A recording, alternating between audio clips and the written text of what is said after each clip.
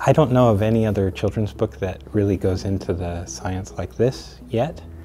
I don't know how we came to the conclusion of, of the, the little phage story, but I think we decided that that, that could be a, a hero. The beginning of the story really was like, Are you my mother? The phage wandering around asking other phage if they were part of its family.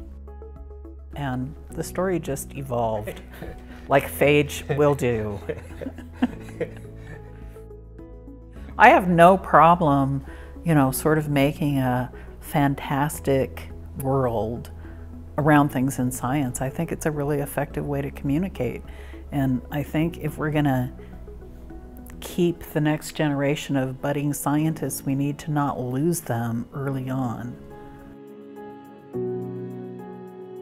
I've tried to create a world that is, is really um, fun and, and not be uh, put off by uh, the complexity of it or, you know, to make the complexity something fun. This is an enterprise that is not a male domain. This is Holly Wichman and the work that she does is interesting and important and, and it could be a role model for other young women. Exposing kids to science at this early age is really important.